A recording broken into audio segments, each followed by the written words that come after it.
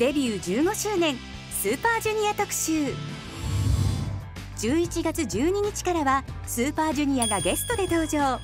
スーパージュニアのアイドル VS アイドル。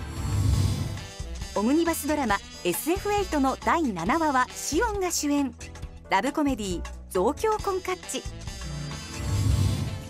イツクがマネージャーとなってトロットグループを誕生させる新バラエティー最愛エンターテインメント。シオン俳優のチングラがヨットで太平洋航海に出発。ヨット遠征隊。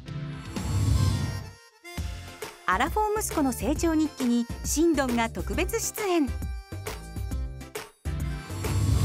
グルメバラエティー路地裏食堂にキュヒョンが登場。ピザのお店でどんなアドバイスをするのか。詳しくは KNTV ホームページへ。